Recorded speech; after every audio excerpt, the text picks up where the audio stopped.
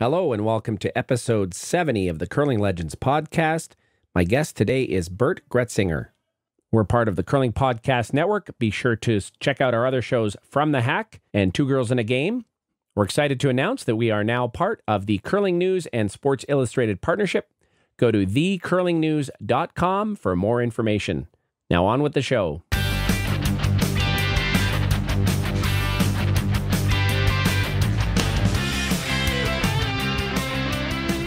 This is the Curling Legends podcast, and I am your host, Kevin Palmer. Bert Gretzinger coming up in a moment, but first, just a couple of items. As I mentioned at the top of the show, the Curling Podcast Network is now also part of the Curling News, and you can access our podcast from the curlingnews.com webpage. The Curling News, along with the Hockey News, are now involved with Sports Illustrated, so a lot of exciting things happening in that relationship.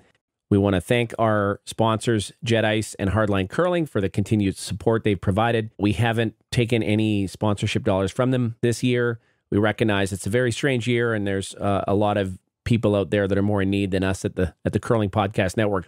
We would ask though that you think of both Jet Ice and Hardline Curling, and also think of organizations in your communities like a local food bank or the Sandra Schmirler Foundation and many other groups that you might contribute to. So if you are in a position to do so, rather than read you an advertisement, I'm going to politely remind you to donate to your local charities within your community.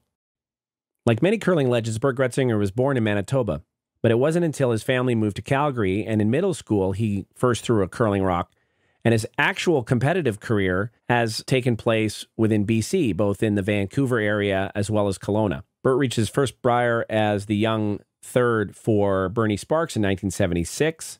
It was in Kelowna that Bert eventually teamed with Rick Folk, reaching the Brier yet again in 1989. And then when Pat Ryan moved to Kelowna, Bert was willing to step down to play second. They were joined by Gerry Richard at lead, and that team would make back to back Brier finals in 93 and 94, winning the Brier and Worlds in that 1994 season. Bert then would skip his own team into the Brier 1999 and come very close to qualifying for the Olympics in 2001. And we talk about all of those years, the Carspiels, Calcuttas, and we talk about the rock handle controversy at the 1994 Brier that I'm so fascinated with. And Bert also shares some great stories of Bernie Sparkes. I'm sure you're going to enjoy this conversation as much as I did. Here is my conversation with Bert Gretzinger.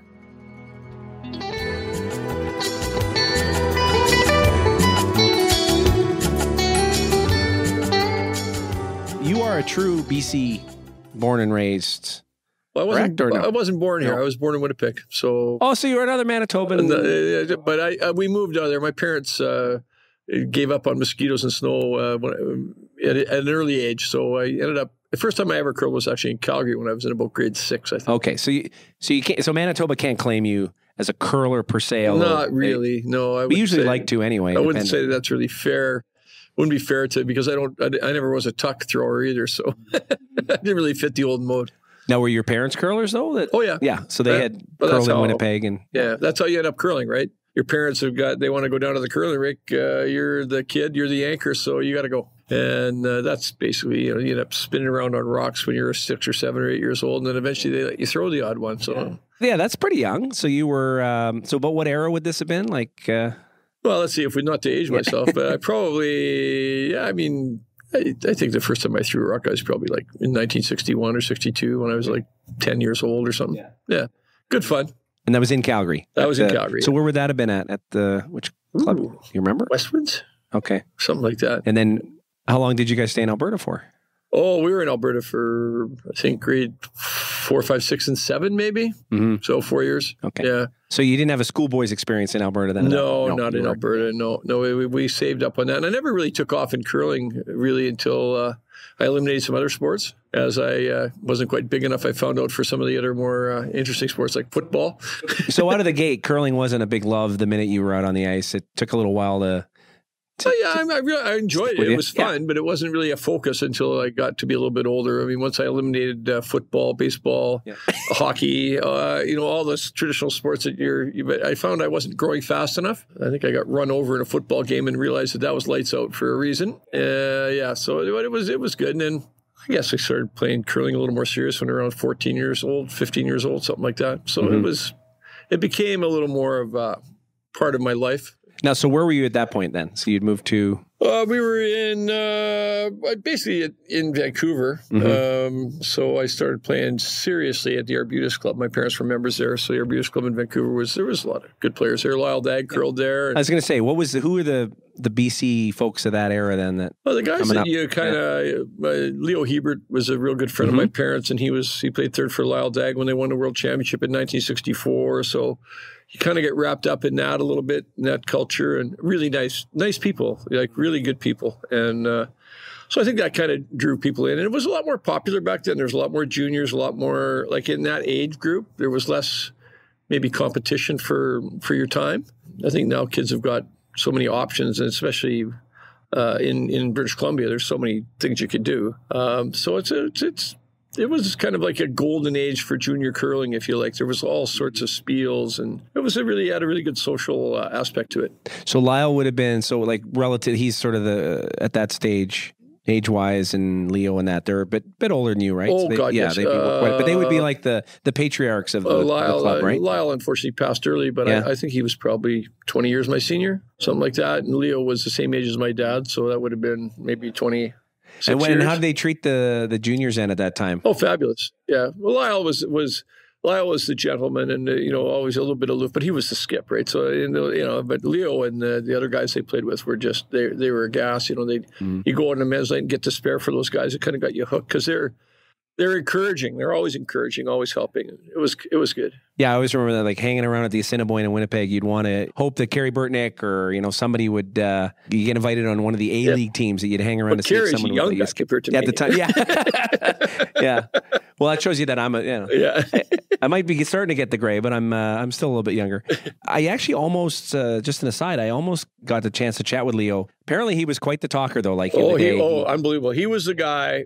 He, he would remember every shot from every game. If you got him going in, it'd be ashtrays and knives and forks and salt and pepper shakers all spread around. Yeah, I, I don't think there was a game he played he couldn't remember every shot, or at least tell you he did, which was really cool. Like, really, really, really a lot of fun. Now, were you skipping as a at the schoolboy age, or were you uh, kind of Uh, mixing we around? kind of all took turns at being playing different positions. I mean, we I, I ended up I ended up skipping a fair bit, but yeah, you always moved around a little bit. In high school, I actually skipped because there was only you know not that many to pick from. So and that was a schoolboy competitive team that type was thing where you had school, each school qualify? put together a team and you played off and stuff. Yeah, it was it was good fun.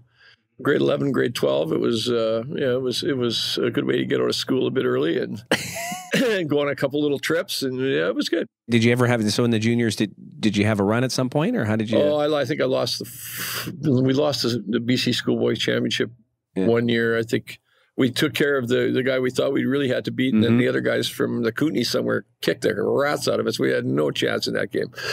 Sort of putting, uh, you know, thinking it was over when you beat the guy who was Mhm, supposed to be the mhm. big competition, walked out and just got slammed. But you know, that's a lesson. yeah, yeah, that does happen. Can't get ahead of yourself ever. Well, that was always the fun part about curling, especially when you were when you were younger, learning how things go, and starting to realize that anybody could beat you, and if Mhm. you don't pay attention, because a lot of these guys could play, and just because they didn't go out and spiel a lot or something like that, they would come out of the woodwork and throw a hundred percenter at you or ninety five percenter at you, and next thing you know, you're uh, you're Mhm. going to see event or something right in. So you mentioned you never tuck slide. So then, uh, what did you model your slide after? Did it? Was it just sort of however you started when you were young? Or Well, I, you know, I think I tried fiddling around with the tuck slide for a bit, but I ended up uh, uh, flat foot sliding seemed to be the thing. It was kind of a, a going deal. Leo and Lyall both were flat foot, so we kind of those those were the guys you kind of looked up to then, and also another really good player back then, Glenn Pierce. Uh, he was flat foot. So would that be was, Brent's dad then? That would Is be Brent's dad. okay, Yeah. I ended up playing for him actually, and uh, yeah, for uh, for a year, Mm-hmm. maybe two. I can't remember. Man, I think it was one. Then he cut me. I think ah, something like that. Anyway, but Was he know, as mellow and low key as Brent is, or? he had a certain intensity about him. Yeah, okay, yeah. Yeah. By the way, I've only spoken to Brent now on the phone. We didn't manage to get the interview set up, Yeah. but uh, we'll get him. Oh, Brent's got He doesn't hold back. Yeah. No, no, he doesn't hold back at all. You might have to turn the volume down. Maybe I don't know. I like Brent though. I. I some people think he's a little overbearing, but I always just like this competitive spirit. I mean, Mhm. sure, every once in a while I get carried away, but when I was, he was a lot younger than me. He was in the stands when I was playing with his dad. There's a fair gap there. Yeah. But I played him when he was playing with McAulay. We played him back to back and for to represent BC at the Brier. We won in '99, and he beat us in 2000. and they went on to win the Worlds, and we finished out of the playoffs. So probably the wrong team won the first year too. I don't know, but um, the uh, yeah, I love that kind of intensity. Somebody's got to have it out there. If you're all for deadpanners, so you're It- yeah, you need to. you well, need yeah, every team needs its own kind of mix, right? I think if you Yeah. get four hotheads, it doesn't work either. Oh no, no, you can't have too much of that.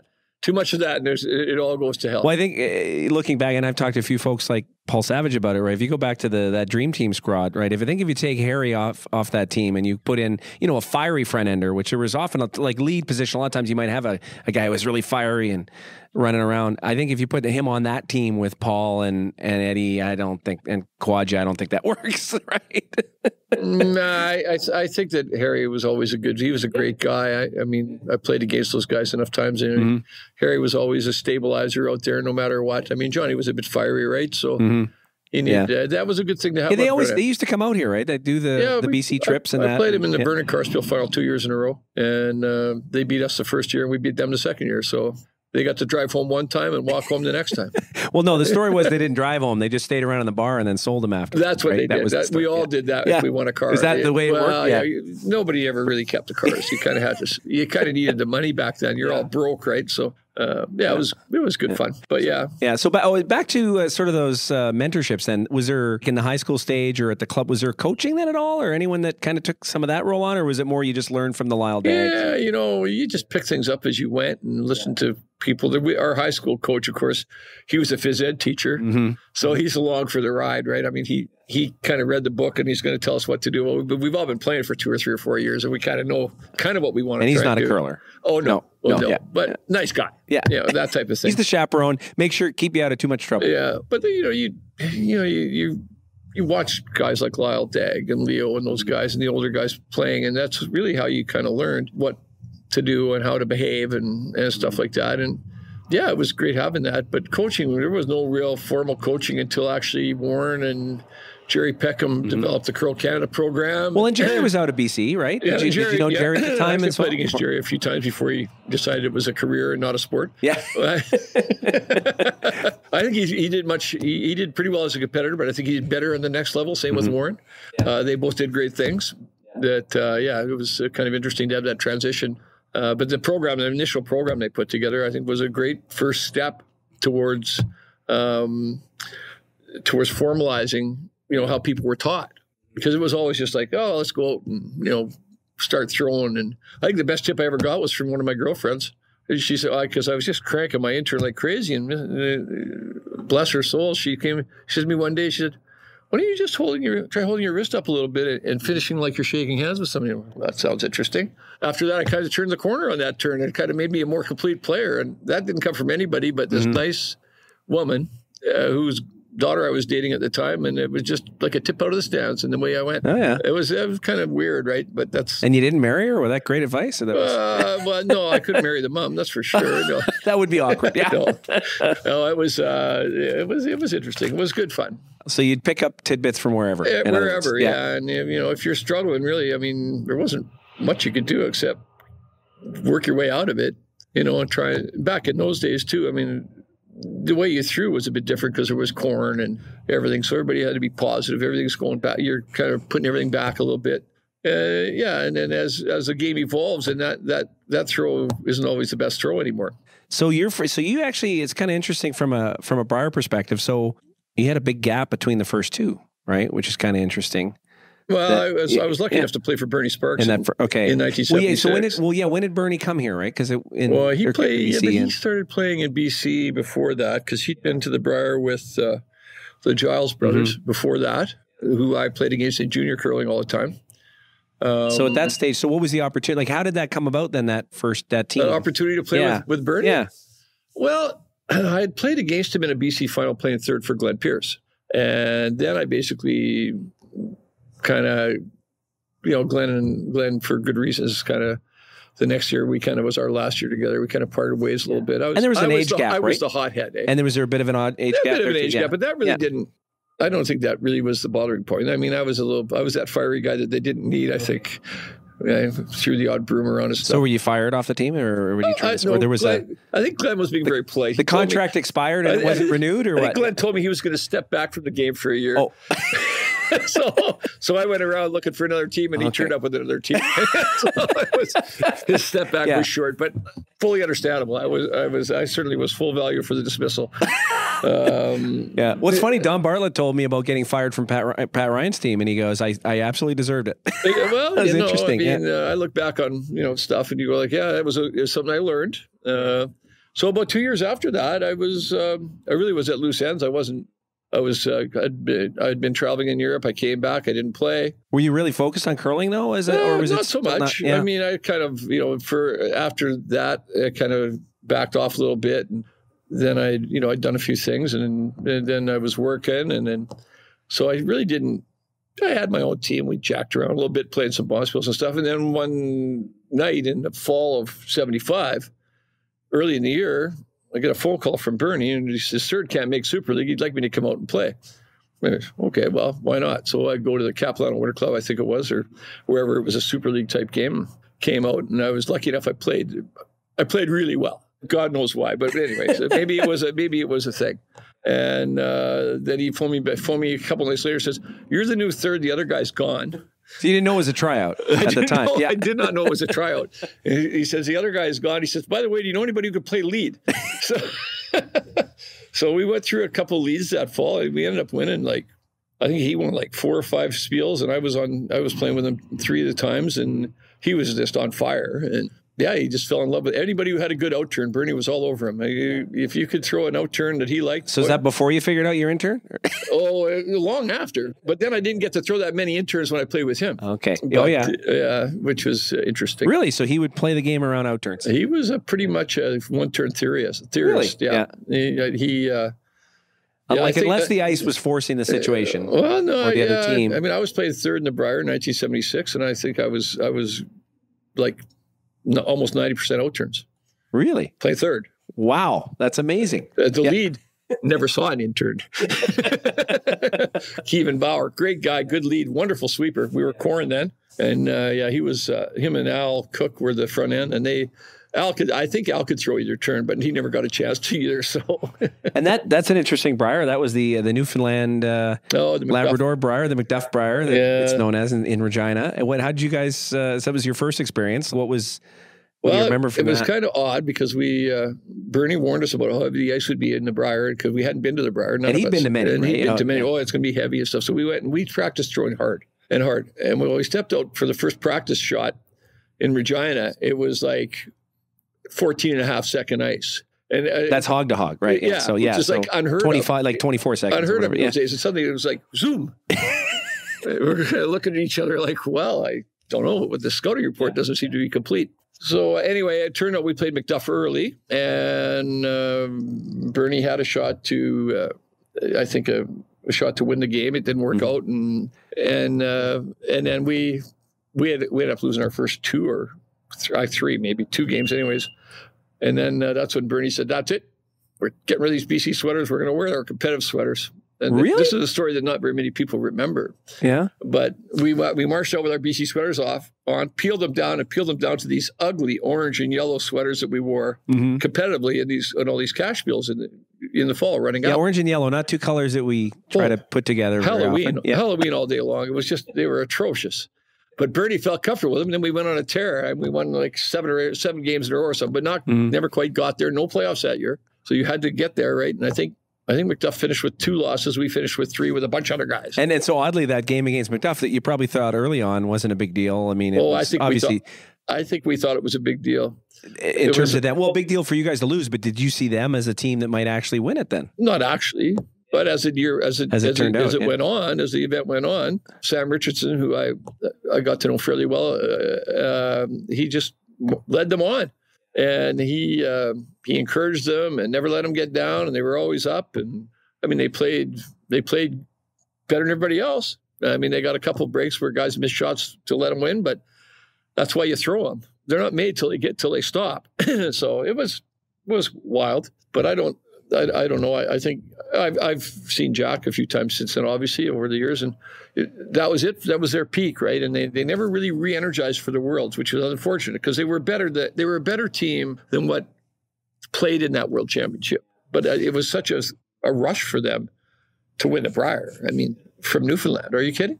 Incredible. So Yeah, well, and I talked with Harvey about that this morning. You know, the '73. We talked about those that that gap, the Labonte curse years, and it's just interesting how each year something weird sort of happened that sort of.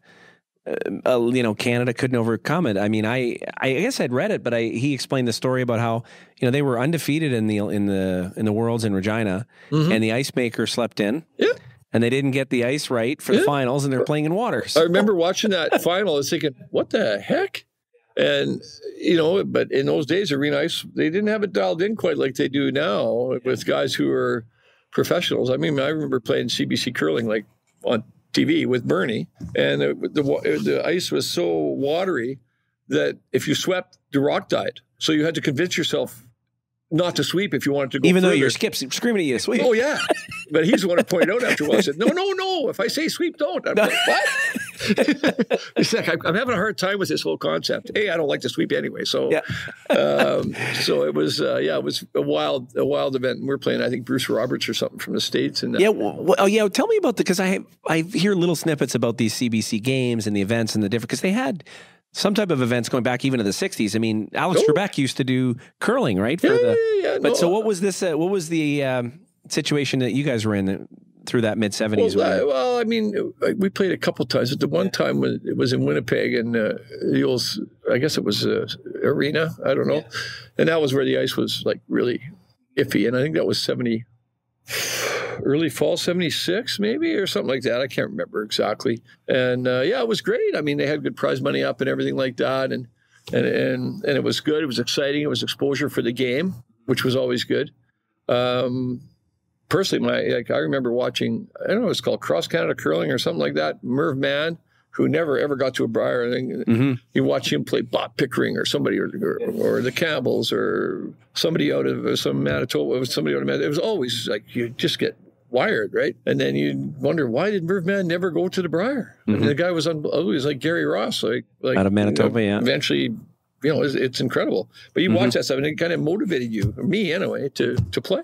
But it was interesting stuff. The second time we went, Bernie wasn't that happy. He, he, he picked me up in 1978. We went again to, I think it was the same thing, curling classic, whatever. And but they decided it would be good if the men and the women played, and we ended up losing to one of the girls' teams. He Oh, was did not you? happy. okay, because they'd done that a few years. In fact, Harvey talked about playing Vera Pezer in a game that he probably should have lost. I think in '73. So well, we did okay. lose. It was the Pizarro twins, I think. Yeah, and, yeah. Bernie Mhm. was. Uh, we were experimenting with push brooms, and then about as as we realized that we were losing, Bernie says, "Well." We better break out the corn. So now these girls, these poor little girls, and they're nice, nice people, and they're we're going to break out the corn. I don't know. This is already embarrassing Yeah. enough without breaking out the corn. so, so Yeah. we break out the corn and say if something happens and we're looking really good and they, they throw one that looks wide and heavy and it grabs our corn and comes in and makes a perfect shot and we're still losing. so there was justice. But you know they could play. It gets back to what we talked about earlier about how anybody can beat you. And you, if you're not ready, or if you take somebody too lightly, I mean, you're probably going to get, Yeah. you're going to pay for it. I mean, really. So you got that taste of the Brier experience. Now, did Why did it take so long? Well, no, it also seemed like BC in particular, there was a lot of uh, kind of bouncing around a little bit in terms of teams. I mean, I even talked to Bernie a bit about his experience there. Like, it just seemed like we are we always Manitoba was a little bit like that too, right? Yeah, well, we're just trying to tweak this or there. Or, Yeah, like, what, see, what uh, would happen over the years? Like, I, I but see, after '76, I moved here. After the Briar, I moved to Kelowna, and uh, in the interior, we were always a lot more. There wasn't so much bouncing around. well, at that point, you're, you're not going to go play with guys in Vancouver because that's 77, they, right? they It's do not- now. Then you know, no way you would do it then.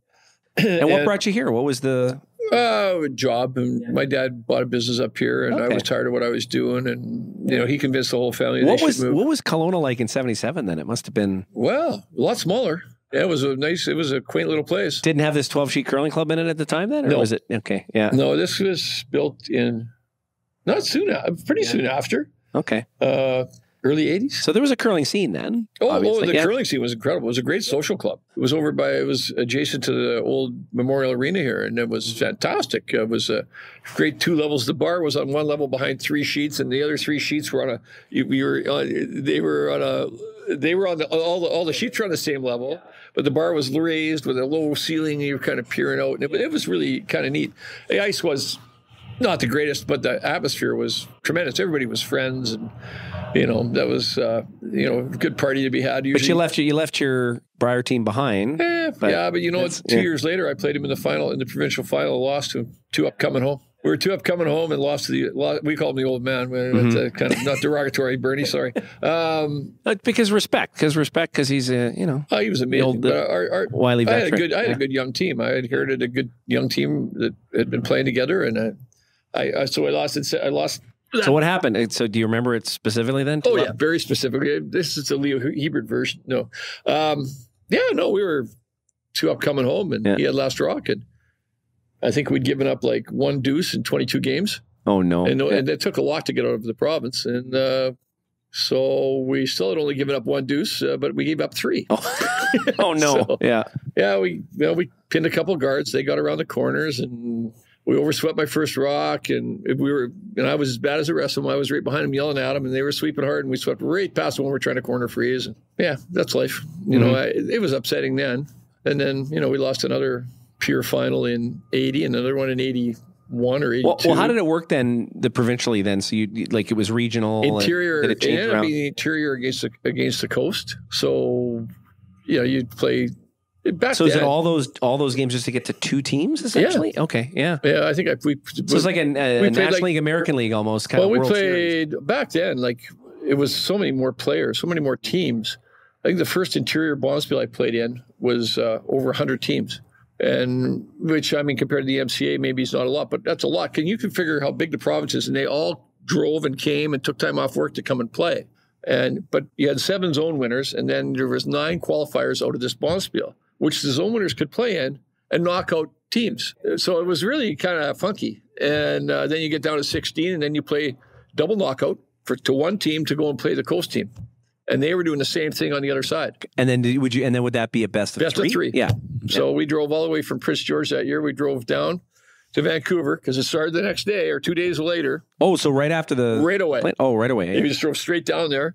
And uh, yeah, I think we lost the first game by one, and we beat him in the second game by one, and then the the third game was history. But I mean, that's just you know, it was that, and we did the same.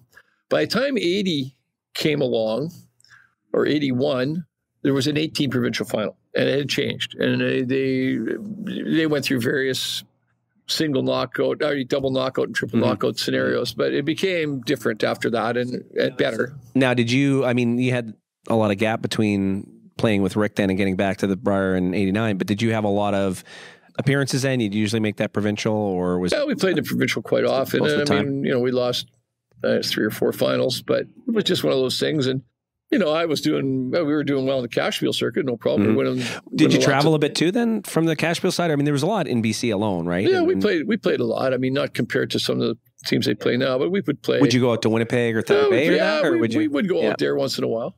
Um, typically, we would start in Vernon and then Kamloops, and then maybe Kelowna had a spiel, and Prince George had a spiel, and then sneak out to Calgary, and go down to Abbotsford. There was a spiel. Always tried to get to the Bessborough in Saskatoon. well, you mentioned you uh, won the cars. So the which squad was that then that you won the cars with? That was Well, in 80, was we a- won the cars in Vernon in 81 and 83 with the same team, um, which was me and Glenn Jackson, who used to play for Paul Gowsell, Mhm. and Rob Kofsky, and uh, Ron Steinhauer. Okay. And was that more of a Spiel team then, or was that your That was our this- team. your regular team? Yeah, Yeah, we that we lost the final with that team too. yeah. yeah. But, uh, but then, you know, we played, we won, we beat, this is the irony of, of curling. We The first car spiel we won in 81, who did we beat in the final? Bernie Sparkes. The guy who, you know, who I played with and I and I loved and learned so much from and, and who had beaten me in the in the provincial final, beating our team in 78, different team.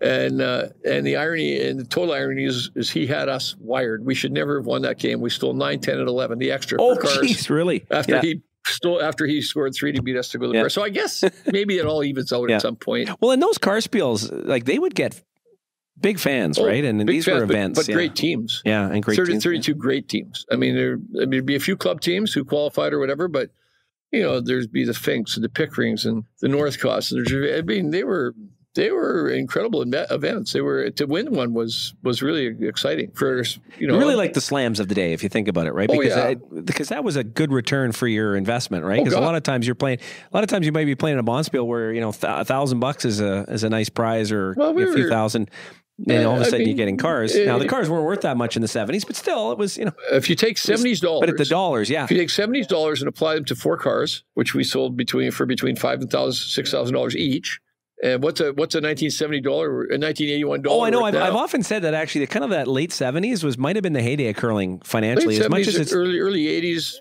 Yeah, there was lots of good players, lots of uh, lots of good prizes. I mean, we were lucky enough to win three sets of cars in a short span. No, you mentioned that you played with Glenn for a bit. Did you ever have to play Gowsell's rink then in the 70s? Do you remember when he was on the Oh yeah, we played with that junior rink? Uh, we played again. That's when Bernie, Bernie. I was playing with Bernie then. We played Paul and those guys, and and and Galzel, Gowsell's team was they were just sneaking by everything, and we're we're still swinging corn. with eh? Cornet, yeah. And and Bernie says to me, he says, "How can those guys keep doing that?" and I, I said, "Well." If I was you, I'd look at what we're sleeping with, but you know, they're they're Yeah. just they were the best, right? They could make they were they were great players, and they dialed in the push brooms first, and And they knew how to use them. Oh, You guys- exactly. Sounds what I like you guys were they the- dialed it. They dialed it in. It took us until Glenn came and moved out here and started playing with me.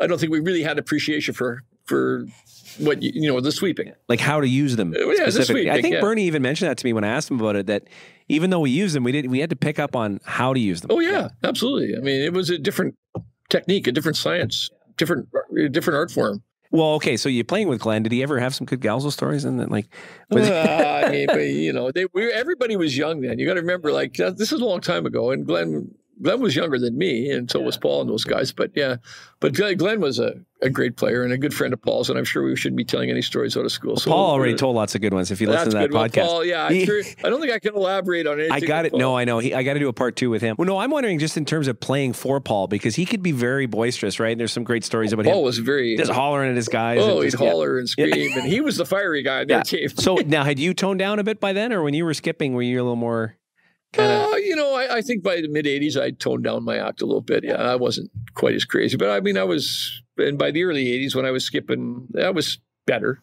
Before that, maybe not quite so much. But well, it's always tough because you know sometimes it's like you want to let your team have it for their sweeping, but then you know Oh, may yeah, I made or a some, shot, but you know no one ever missed on purpose, right? I made it's I made some to- bad mistakes, and, and uh, in handling my my personnel at sometimes, you know, calling them out in the wrong times and stuff. But I think hopefully they've forgiven me. Those Now, people. did you like did you like skipping? Like you enjoyed having that last shot? Like some guys, even very successful skips, didn't necessarily like it as much. I know Paul Savage loved playing third. Well, you know, I, I really, uh, I, I always thought I was a more natural third.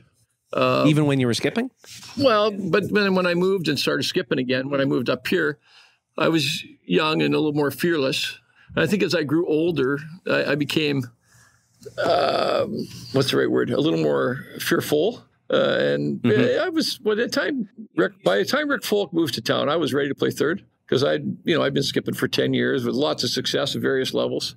Well, part of it too is you start to build up a bit of almost like um, uh, scar tissue, right? Oh yeah, you, you can see things differently. And Say bad things seem like they might be more easy to do. Mm-hmm. Because you because it's happened so many times, right? Well, you've seen it, but yeah, I know. I, I was ready for I was ready for a change. When Rick moved here in '88, I, I was ready for a change, and I was lucky lucky enough that he you know he got together with us with me and Rob Kofsky and uh, and Ron and uh, But he didn't try to change you to corn brooms at that point, though, right? Because uh, or- or was it discussed? Still slid with one, but no, Okay. we were no, Was we were, discussed? We were pushers by then. He was yeah, no, Rick was. We were, well, that was that era though where you could sort of bring out different brooms, right? And yeah, like, you mix could bring them out, but I mean, the mid '80s was probably the worst for that. By then, it was kind of getting like, really, you're doing that? So it was kind of had a stigma attached to it by then. Yeah, guys did it, but you know, you kind of mm, frowned on them because they could literally ice all they wanted. But you're using your push brooms right, it's not bothering you.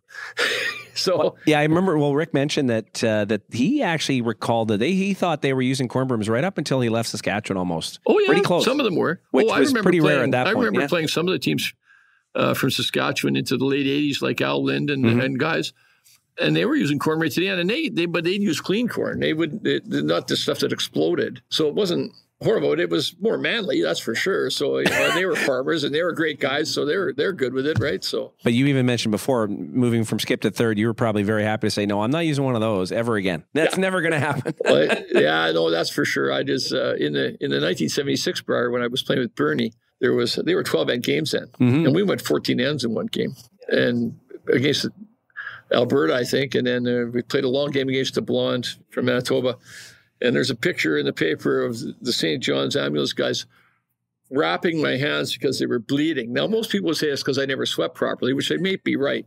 Well, but, did you sweep with the overhand grip or the underhand? I was, I was an overhander. so, and not a very good one, I don't think. So I, I, kept grabbing all the brooms that Al Cook and Kevin Barr would throw out. Uh-huh. I was like, nothing wrong with that. And I grabbed that. You know, they, they're, they're killing themselves laughing. But anyway, so it was, uh, yeah, it was, it was interesting. But I, I I'm, uh, I, I was a big advocate of the push broom after that because uh, I did get to do a little bit of sweeping later on. You returned in '89. Now, was that a uh, did that team sort of gel, come together? Was there any tense we moments? Or? Like, uh, you know, we uh, ended up.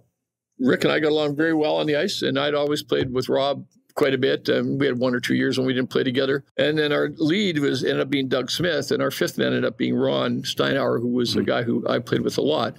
I think that's how it went. Yeah, but yeah. Anyway, so it was really quite easy because yeah. Rob played second before, and he was from Saskatchewan, so he knew Rick. And Rick and I knew each other from playing against each other and, and other things um, through the years, and uh, it, it, fit pretty good.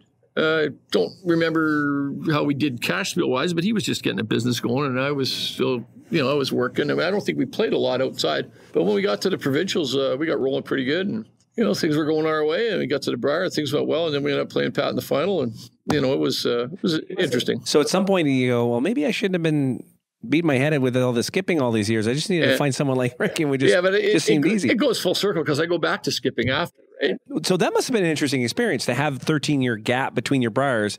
Just at that point, seeing what the event was like, because totally now it's a Labatt's event. Oh, it's yeah. very different. Like, what do you what was do you recall? Kind of the uh, went from lots of free cigarettes to lots of free beer. Yeah. that? so it was kind of yeah.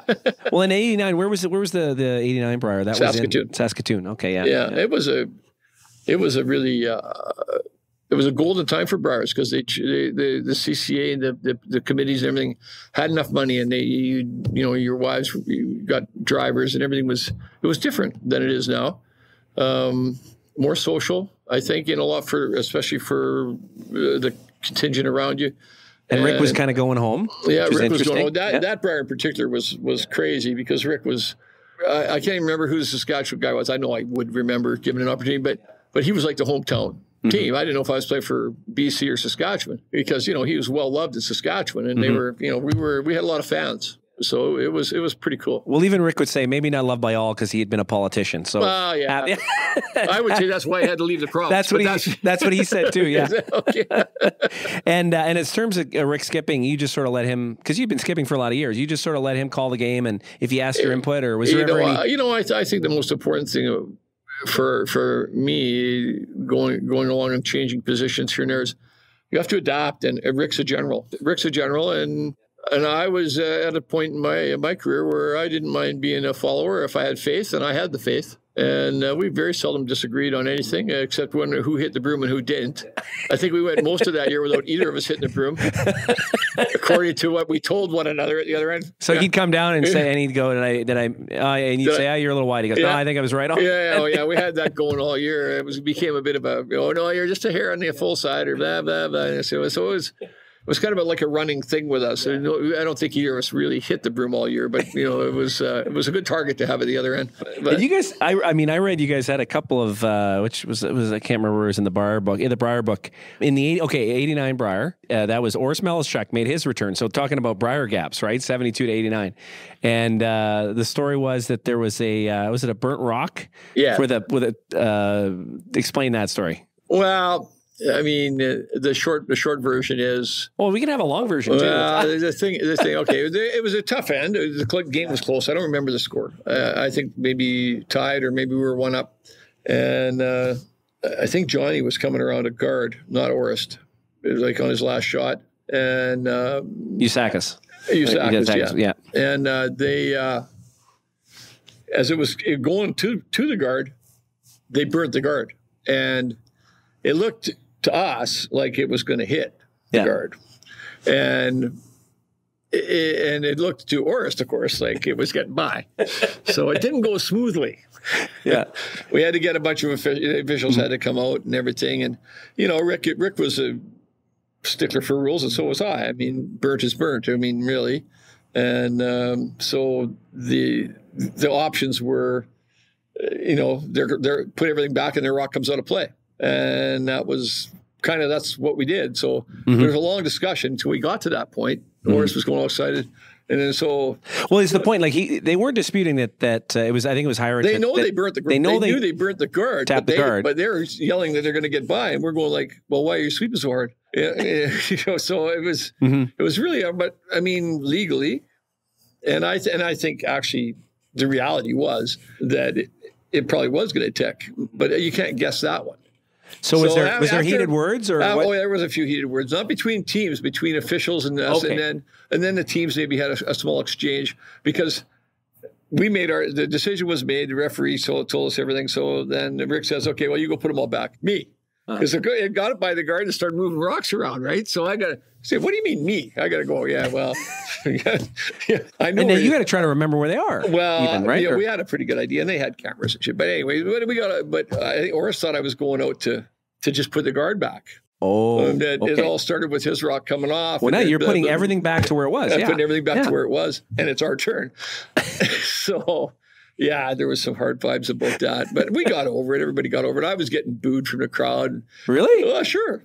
There's Oh, Manitoba geez. fans there. Yeah, yeah, quite a I- few, I'm sure. politically, Rick was, was brilliant. Why would he do it when he could send Yeah. me out to do it? Well, and I, I remember that team because Orest had there was a lot of fans pulling for Orest as a comeback story and everything else out of Manitoba at the time, and uh, certainly one of the great characters of the game. A good But guy, but, too. but not Yeah. but certainly guys that weren't going to back down, right? Oh no. E- even if they're in the wrong or Well, they had get- they yeah. had Usakis, they had Hirich, and uh, oh, they had a a lot of fire. On, remember we were talking about how you, all four players. yeah, they had they had a lot going on there, but they could play. Yeah. They could still play. Yeah, probably his son Sean at lead was probably the more the low key guy, which is funny because he's he's you know he's descended from the tree, but But I but I think I mean he kind of had to take a back seat to Oris. Let's Yeah. face it. I mean, Oris was a, Oris was a bit of a legend. I mean, no question about it, right? So it was it was cool. It was a difficult situation, but you know that was that's just the way it had to be. I mean, the, the rules are different. And, um, Oh yeah, so there's another another burnt rock story I want to ask you about then, which is were you something about a stick of gum? Maybe not at that Brier, but I, I don't oh, remember, recall I, where I it think there occurred. was, or- there was a uh, we were playing in a cash wheel somewhere, and there's some guy was sweeping. The opponent was sweeping a rock. okay, and some a, a stick of gum popped out of his out of his out of his pocket and landed on the rock. And theoretically, it's burnt, right? And I guess we didn't really. We, in the end, we never made a stink about it. Oh, you didn't? Okay. No. Well, the way- I oh, I- mean, I, there was there, there, there. I think that that story might have got expanded upon, but in the end, it was just like Rick and I kind of went, mm, "Yeah, forget it." well, okay, because I think that well the way the way I read about it, and I can't remember if it was in Bob Weeks' book or one of the books, but it was just something like, well, maybe Rick was annoyed with you, and maybe maybe again he sort of wanted to I sit think on the Rick sidelines wanted to you go be a bad why don't you go be the bad guy? Where it's like, well, Rick, why don't you be the bad guy? I don't know. No, I would never have said that to. We we talked about it. Uh, I don't think there was ever any. There was never any hard lines between us. We were just thinking, well, he knows he burned it. He should take it off. Right in that in that day and age, Mm-hmm. it was it should come off. But mm, yeah, it would have been kind of lame to go after him on that. But you know, and that's really shifted. It was interesting you say that because one of the things I talked to Harvey Mazinke about today, and I didn't realize it, he's the guy that rewrote the rule on the burnt stone. oh, maybe. Yeah. And Harvey wrote it. He explained it all, how it all took place. Back in the day, the burning of the stone was really used as a, a technique to stop a bad shot, right? could be. He mentioned names of people that he who who had tried this back in the day and would use pretty it. Pretty sure it wasn't my name. And No, no, I'm going. I'm going way, way back, No, right? Mostly Saskatchewan. Um, but what's interesting is he rewrote the rule. But what I kind of love about it, it's very much a rule now that puts the onus on the non-offending team. So now all of a sudden you're the non-offending team, and now everyone's watching you. yeah. If you're unsportsmanlike, Yeah. now maybe public, you might still remove the stone, but like happened to Rachel Homan in the Olympics, is now Your public options. opinion shifts, which really doesn't make sense because the early adoptions of the rule, like for many years, the way the rule was is you burn it, it's gone. There's Yeah. no question. Yeah. And now that- it's become, well, we're not sure, and maybe that's im- Well, non, I think the non-offending team, having the onus on the non-offending team, is almost as bad as the other way around because Yeah. you can interpret where the rocks are going any way you like. Yeah. Uh, it's not a perfect rule. It would be a perfect rule if everybody was honorable, and but the hard one was always when you hit a guard. It's, it's not a running stone. You're hitting a stationary stone, and then like that discussion with Oris in the '89 Brier, was it going to hit the guard or not? Well, Yeah.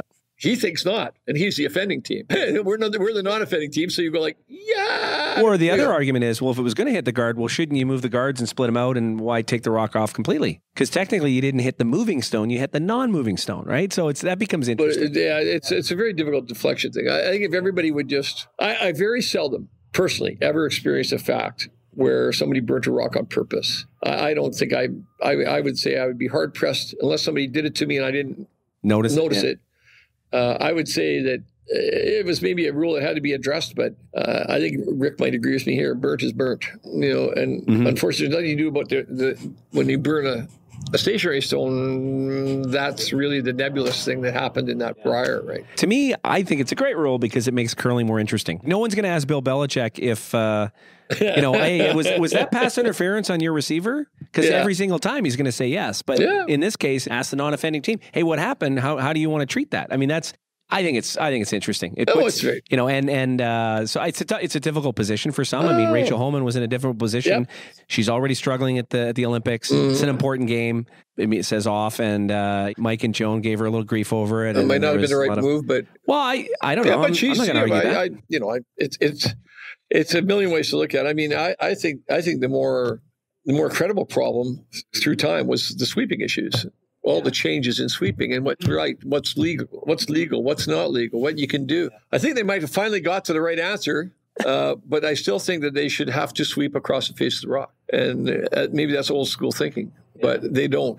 Part of it is they want to make technology as limited as possible so that they don't have to worry about you know the specifics, yeah, which but maybe the, the shared technology is fine. But I mean, the technique of sweeping corners, I mean that was a big uproar. That's what did guys pick up on that like that was done in the 80s when the, God, the yeah. broom started. push Yeah. brooms. Oh, absolutely. Even though it seems like no one really understood exactly. even with even how it you know, worked. there was guys who who were good enough with corn that they could sweep off one side or the other.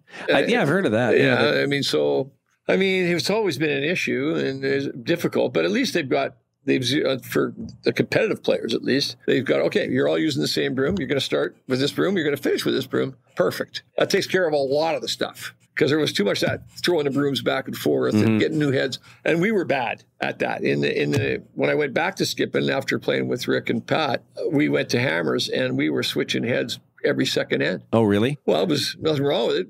Kept fresh heads on the ice. And And you could tell that they were having an impact, they were- keeping the oh yeah, fresh, anybody who ever used any of those synthetic brooms will tell you that they had a certain amount of life in it, depending on ice conditions.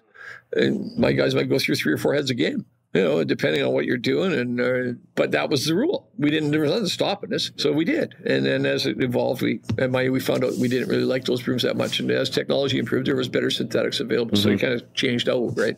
But yeah, so it was there to do. So we did it. so Pat comes into town, and I think you guys played against them the first year he came into town, or when did it happen? That fir- I can't- Uh, how did that all? Yeah, he did. He, he in ninety in ninety he came to town. Yeah, because he beat us in the Brier final in eighty nine, and they went and they won their worlds. And then he took a job here. It's like, say, wait, so you beat us, and then you got to come here and. And, and- oh, can we talk about that final again for a second? Because that was the three-two final, right? That was. Yeah, three two, four two, whatever it was. well, well, yeah. no, it was yeah, it was uh, three-two, Okay. and that was sort of the height of the Ryan Express. And as Well, we weren't shy. up We weren't shy either. We could about bang. him, yeah.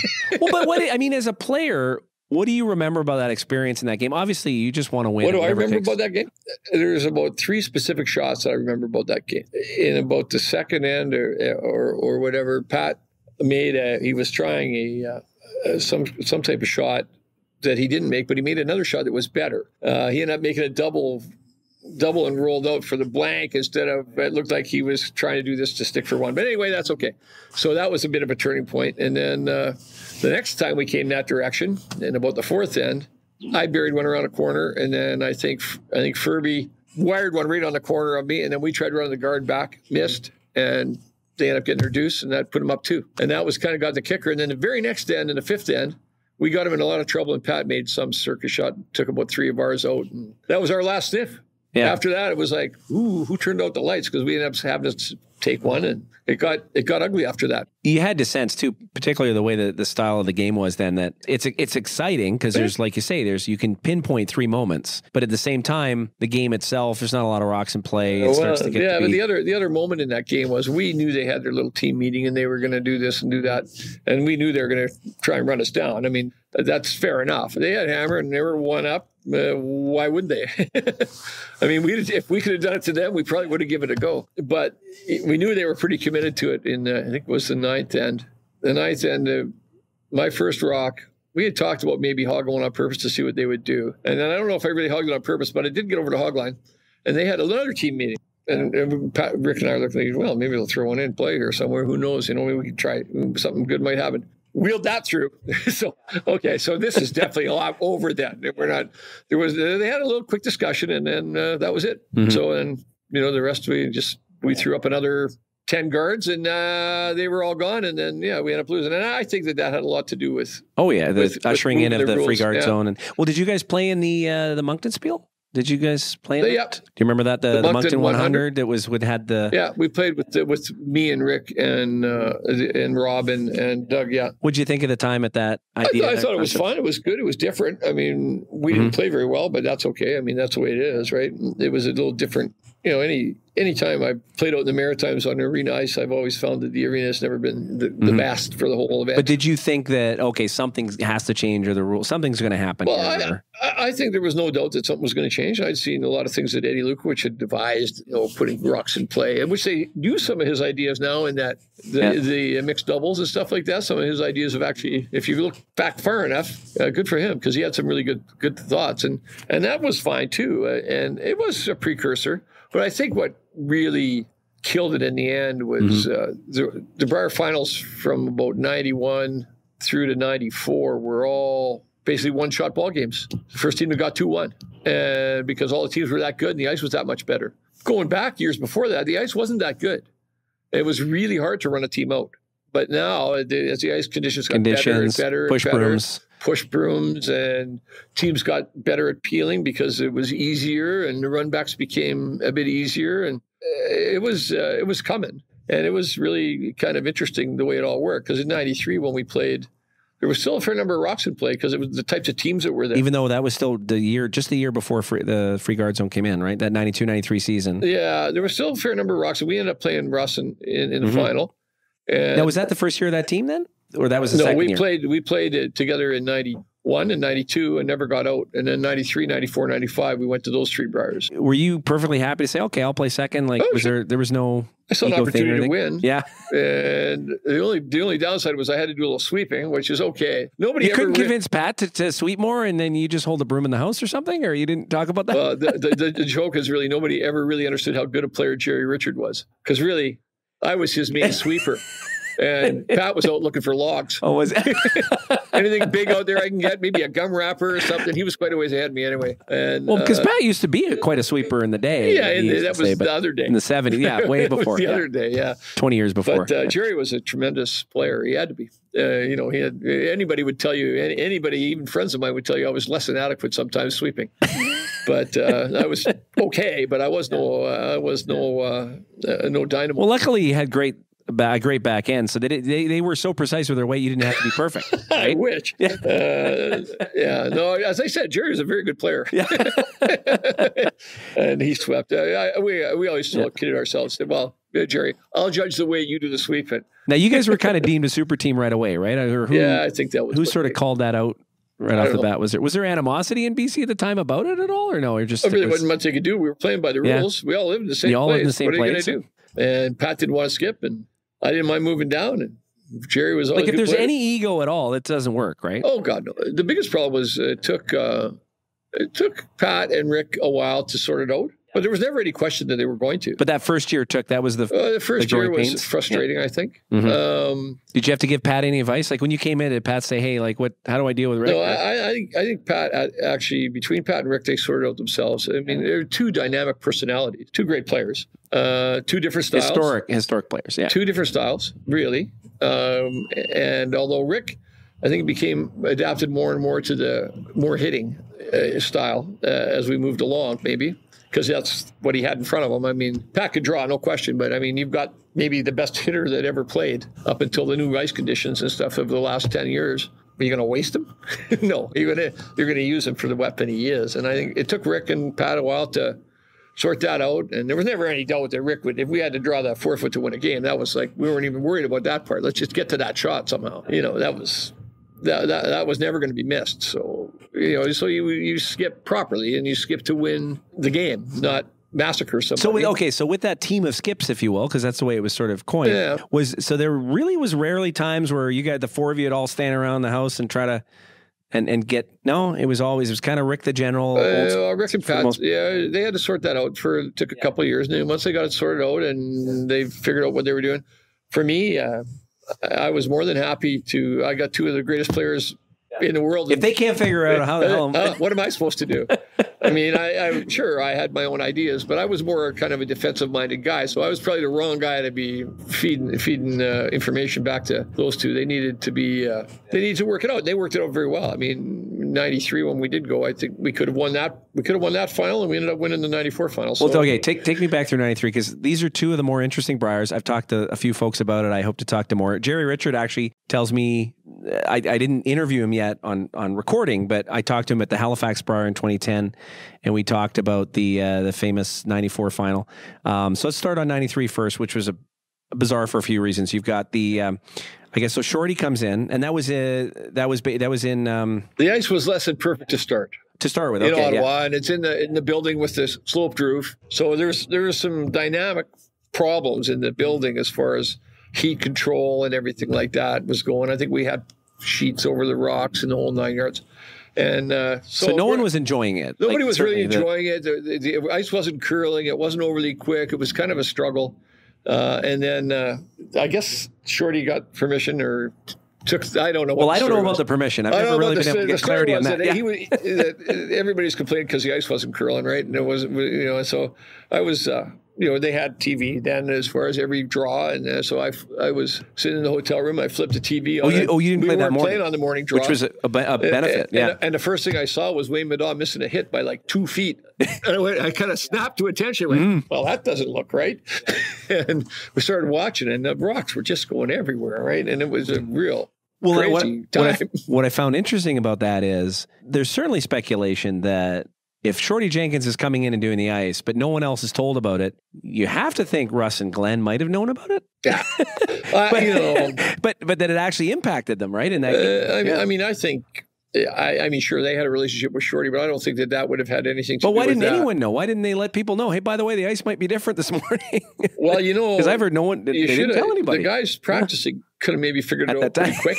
Like when the first one actually curled eight feet but, or whatever. but this was like two different events. it Oh, was oh, like totally. Oh, Brier number one and Brier yeah. number two. Oh yeah, but uh, Brier number two only lasted for a little while, a couple days, yeah, whatever. until they got it back to. And at the end, it was Well, then it was nice. Brier number three, Yeah. which was now it's a Briar between four teams, and we got to figure out how that's going to work. Before and- we tie, before we tie for first place, yeah. so, where were you on the ice? Were you on that last draw that Peters played in that last draw? Or were you guys off at that point? Do you remember? You remember the situation with Well, who kind of the playing at the end? I because at the time Vic's team, I think Vic had been told this before, but Vic's team thought if they win their first place, yeah, I think they yeah, but it was that wasn't going to be the case. Yeah. no, it wasn't the rule, and I know that they beat the three of us, but it didn't work out because it was there was no rule written for it, and uh, so there was a big kerfuffle. And there was a big how, how we can decide who plays who and all this other stuff, which was even that was a bit crazy. and this is just right after the game, right? Yeah, and, so it, it becomes, and this was pretty crazy too. And we- so there's a big kerfuffle in the whole thing. And then the, so the CCA decided that it was a four-way tie for first, and we're going to draw. All four skips are going to throw a draw shot at the same time on a different sheet of ice. oh, it was going to be the same time originally. Well, it was the same okay. time, basically. And uh, because I know it was because we delayed a couple seconds. And we- we're me and Gerry were looking to see where everybody was, and uh, we managed to end up getting to play Rick Lang. Well, no, I think well, I think the way it worked out, Rick or no, sorry, Vic Peters didn't throw. I think that was the one. They they would be sort of the the number one seed of the four Well, maybe that was it. Well, all I know is that all I know is that we were able to see what was going on on the other Mhm. sheets, and we we ended up not playing Vic or Russ. Not because Rick had a bad team, but we that that's it- the game that you knew you want. Yeah. it was a preferential draw at that point. So where did your draw end up?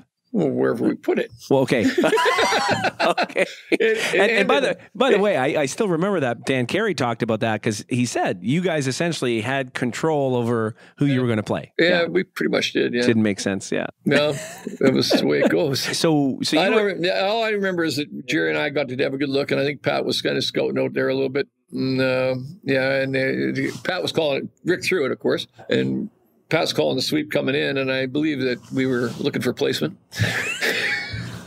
so it was a bit screwy, and uh, and it ended up, you mm-hmm. know, we ended up playing Russ in the final. Vic lost to Russ, and mm-hmm. which was I, I, don't. I felt sorry for Vic. Well, there was a bunch of games, right? Because you had they. So the, he loses the Russ, but then he still gets another chance. Because nope. it was like no, no, there was. It was kind of like the first page. It was a weird setup. Mm, I don't think so. Yeah, yeah. I'd have to look yeah. back on that. Here, I can take you through it. Here, let's let's do. It. That's what Wikipedia is for, right? Because then the next year was when they brought in the page system, right? Right in '94. Uh, it was a playoff system. Yeah. The, yeah. Uh, kind of a pagey system, I guess. Yeah. Well, they were still kind of. Or think, they just yeah went to. Well, what happened there? No, because there was only three t- teams for playoffs then, wasn't there? I'll take you through the memory of it. See, um, okay, so here we go. Here's this playoffs. Oh, the tiebreakers. Oh my goodness. So yeah, so you got Howard plays Peters, and then uh, you guys played Lang, right? And then so then Lang played Peters, and then you guys played Howard, right? So it was sort of Lang and Peters. So it was like a page, right? So you got. we ended a, up playing Russ in the final. Yeah, but you also played him in the tiebreaker, right? Which you actually lost three to one. Okay. Yeah, and a three-one game against the Howards, which is not necessarily common, old but rules. maybe that's yeah, old rules. They were happy to do it. yeah, and Peters, uh, you know, lost, and, uh, I do remember this. Yeah, and, and, Peters lost to Lang in very devastating fashion because it was they were actually up five four, and they gave up gave up one, steal one, steal one, eight nine ten. Likely at that point, Dan was just ready to just break a oh, dozen boots. I'm sure. Yeah, yeah, and and a, and a rough situation. So, and then now you're in the playoffs. so you play two games. Now you're now there's a three, three team playoff. Did right? go forever. Now you're, now you're playing Rick Lang again. Yeah, in the in the semi. Kind of a crazy experience. Like yeah. it was probably a, a lot of extra curling. You got a lot of information. Well, it's a lot of extra curling. There was a lot of curling. I remember there was a lot of curling. So I'd have to think that your veteran experience probably helped get you guys just through that because it was probably just crazy. I think all those thing. teams had a lot of experience. Well, were, you're right. Rick's a uh, senior guy. And, every, mean, everybody out there was. Everybody out there had an idea what was going on and what was going on. It probably affected Vic's team more than anybody. I think if they had known more about what could happen, like say Wednesday or Thursday, which Warren tells me that he let people know on Wednesday, not people, he let the Manitoba representatives, uh, like C. Swat and some of these folks, but they didn't necessarily tell Vic and the team. They were maybe having a little too much fun in the Purple Hearts Lounge. I heard so. Something something tells me that that we knew that, that it might not happen. That, yeah. that, it wouldn't he wouldn't be a clear winner, but he certainly thought he was. Yeah, and then yeah. and not finding out anything until that moment, and then having to go right. But I do. It's all starting. To, that other part starting to come back to me now because basically all I can remember is playing Lang and then playing Howard. I mean, there was a lot going on. Allegedly, you played Lang and Howard, and then Lang and Howard again.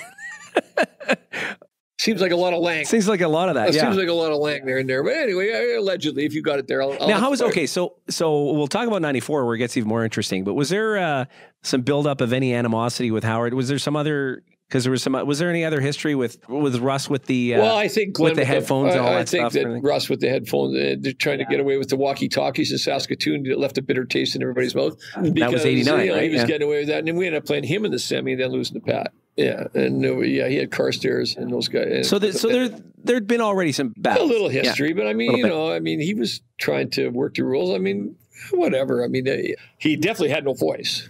So yeah. he, had 89, for, yeah. he had to try to do something. Hand signals or go with the Bellier whistle or something. He had to try and do something right. By the time we get to 93 then, in that final game, they were that was a good team. I mean, that was I think a lot of people consider oh, that one. Yeah, I mean, with Will, with with uh, Wayne playing second and Peter at lead, and well, they had a they had a great team. There's no nobody to argue that point. Is there a moment really in that game though where something turned, or that you think that? Uh, the only thing that I, I, recall, I think I rolled out on the, somewhere in the middle of the game, and it gave them a chance to set up a deuce, and it ended up being the deuce that cost us the game. I think, but I rolled out uh, trying to probably I, I, it was probably one of those situations where I had to stick and they probably had third shot somewhere and I rolled out and they were able to build their deuce. So I, I held that moment for a while. I can remember yeah. rolling out of that shot.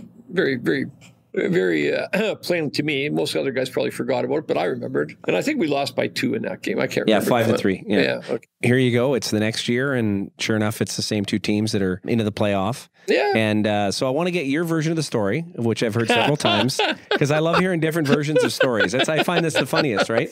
I was rereading some of the Bob Weeks book because it is written about in there a little bit, but I had always heard the story about the rock handles through through people I knew and people in the Red Deer area, and it became its own sort of little legendary story.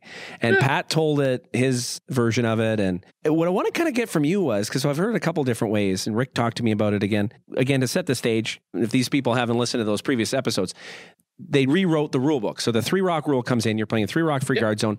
Because they rewrote the rule book, they rewrote rules. And one of them was they wrote something related to who chooses the rocks. Rock selection. Right? So rock selection.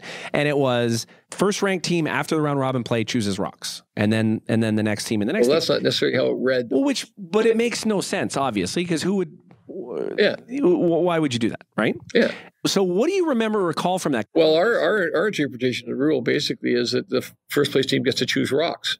So we waited till after the semi and chose rock, and that nobody complained about it till we took her Howard's rock.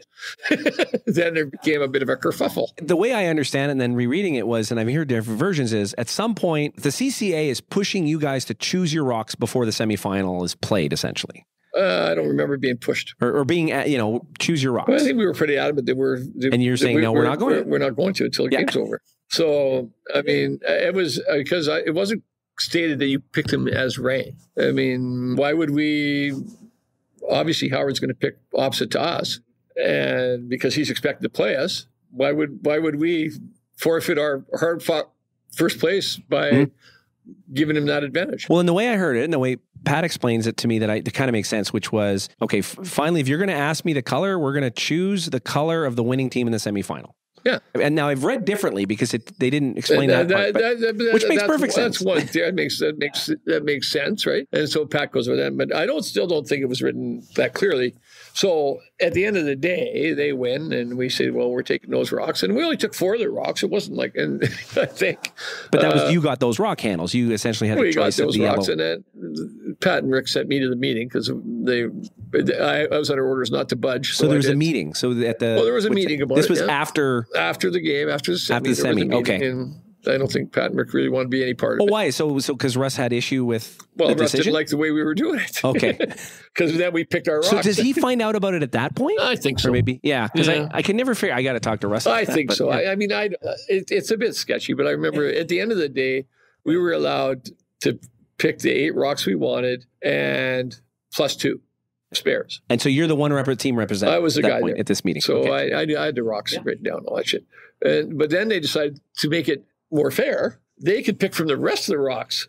now, when did you find So- out? And when so did you we- find out about that exactly? Though. So we at the meeting, and I go like, yeah, okay, whatever. I don't oh, that was explained in the meeting. Yeah, so that, that at the meeting, because right after that, out everybody went, but not everybody. Wayne got out first, and he already had a list of rocks, and he he was the guy with the wrench and the handles, and Jim Armstrong ended, up ended up being his arm his, his escort, so that they didn't screw with our rocks that we had selected. So Wayne, you know, they went through and they figured it out, and I guess Wayne got whatever. At the end of the day, I don't think the rocks really. It, it created a, quite a stir, um, but Well, because when you went back, so you knew that. So that was explained in the meeting that they were going to choose these other rocks. When you went back and explained this to Pat and Rick, how was their? They were happy as reaction. long as we had the ones we wanted. Yeah. There was no. They didn't say, "Well, you screwed that up, Gretzinger." No, they didn't give me that one. so, yeah, I thought we came out of it fine, and, and it was bothering them a lot more than it was bothering us, obviously. And it was mm-hmm. too. It, but you know, there was no. There was a bit of animosity, uh, but there was that animosity maybe had built a little bit somewhere else. I don't know. You know, that was the only, the only place we ever played that was in Briers. There was other games, and you know, I mean, uh, if you got two really good teams, maybe at that point, maybe the two best teams uh, playing each other here and there, and uh, yeah, you're bound to get a little personality. I mean, I don't think Rick and Russ exchanged Christmas cards right away after that, but maybe they are now.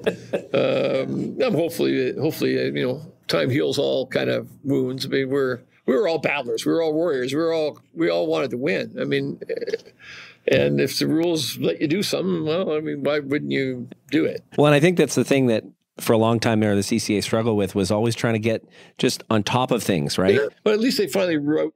But they finally made decisions and wrote proper Started rules. to do that. Yeah. Yeah. Yeah. and uh, you know the part where we were moving rocks from everywhere that I think went by the boards. I think Mhm. now they have to take sets, and I think there's things like they they finally got a few things sorted because we had rocks from every sheet in the building, right? I mean, it was crazy. Uh, And that, yeah, but I mean, it was uh, the final itself was a pretty intense game, though. well, it it was a, like, it yeah. was it was pretty intense. Yeah, yeah. It was probably as intense a game as as you would want to Mhm. have. Yeah, and it was, you know, we we got the jump. We got you know we had last rock to start. We got a jump on him. Russ had a he missed a shot in the fifth end, which put us up in pretty good control. And, uh, you know, basically it was, you know, but it was a lot of good shots and we had to keep playing hard because they're not quitting. Those guys, that's, that's a tough team. Know, they're going to keep, they're going to keep coming.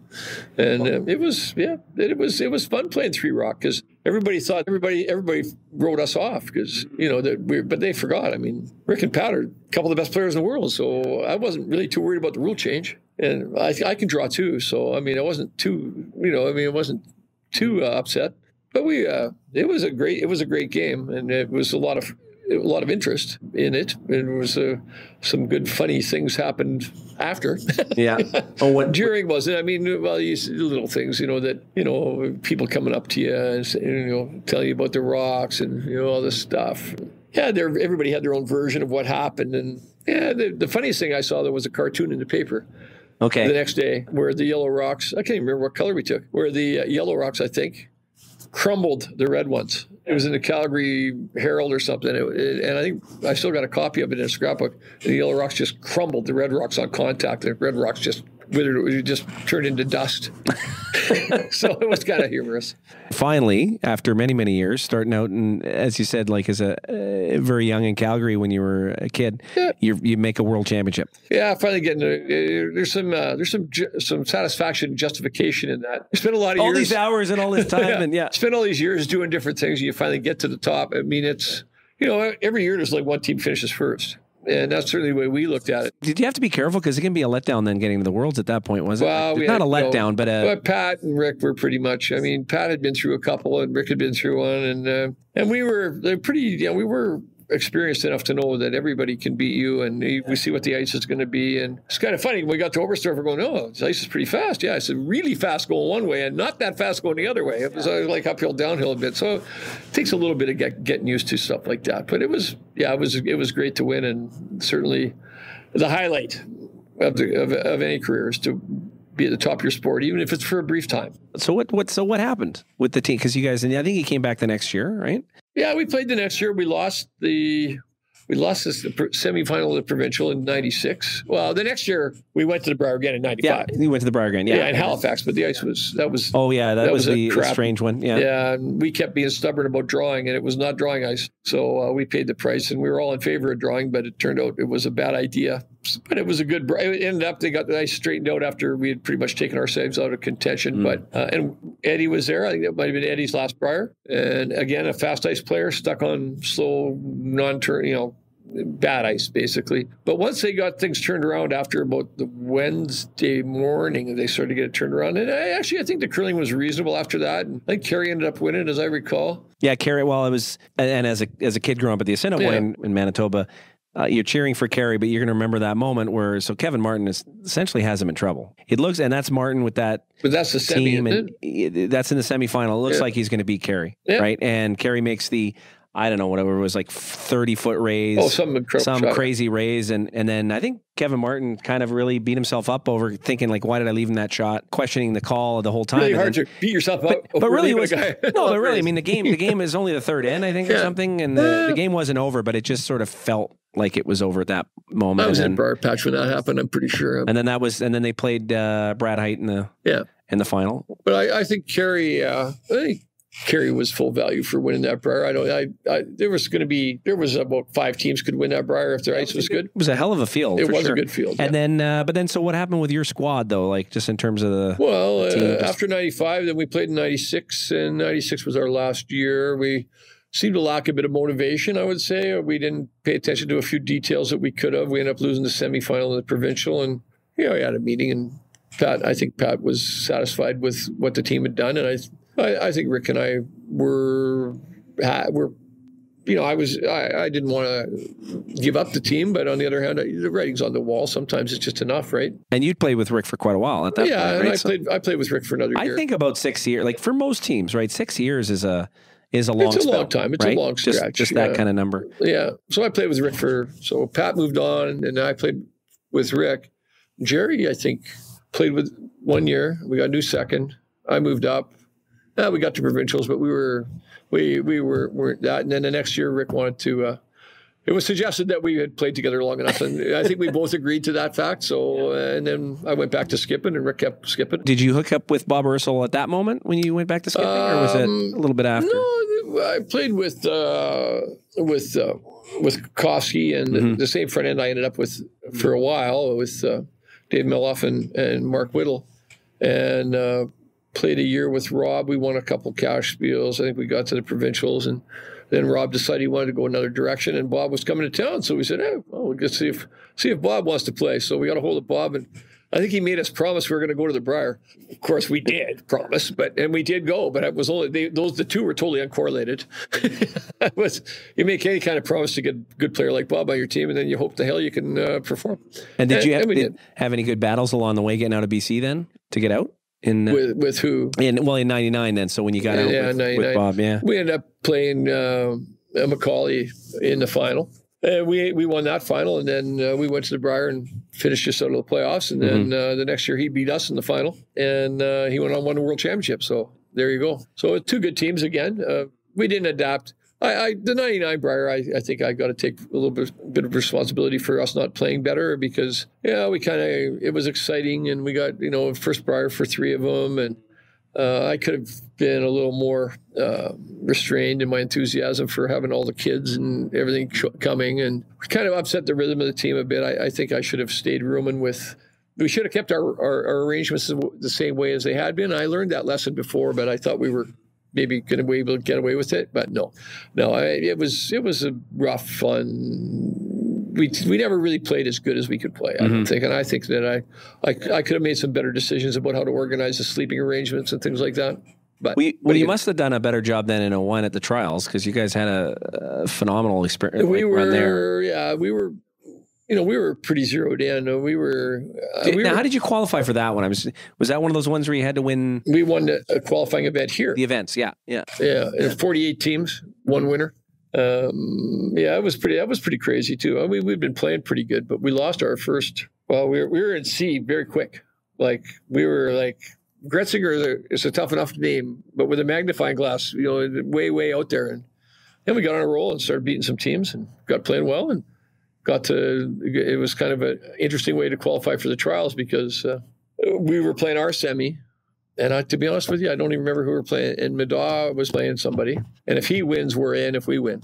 So because he already had his spot. It was a bit flaw, flawed process. But the way it worked out we he won and we won. So we're in. And then uh, we went out and had a couple beers and some pizza and came back for the final and for some reason there was a kerfuffle about rock selection Again, it was it was kind of weird because it was just a regular. It was run, being run like a regular cashspiel, so there was no moving rocks around. I don't think. you're on the sheet. You're on the sheet. yeah, Isn't we're on the sheet. We're on the sheet Yeah. the way we went, and uh, Wayne was bitter about that a bit, and it was. I mean, it was what it was, right? And. Um, McCarroll was, you know, so we're we got out there and all we wanted to was play the game as fast as possible, get back to drinking you knew you because were in. we were in, You right? knew you were in, we, yeah. we didn't even care about you know if we won the spiel, that's fine. But by the time they sorted it all out and everybody got out on the ice, Bob had woken up, Mark had woken up, and I, I was starting to get a little bit agitated, and and it ended up being a heck of a curling game, and uh, I, we managed to beat him in the end. So I don't feel like we backed in after that. Oh, if they'd have just quieted down about the rocks and got you when you know you were already a few beers in, I they might have had a better chance. They'd have killed us. we were we were there to be taken. We already had we already, we had already attained what the goal that we had set. So it wasn't like we were eh, the extra a few thousand dollars for first place wasn't really a motivator at that point. But uh, yeah, so they were cutting in some serious drinking time about that. We wanted to get you know, the Olympic committee probably didn't want to hear that part, but eh, whatever.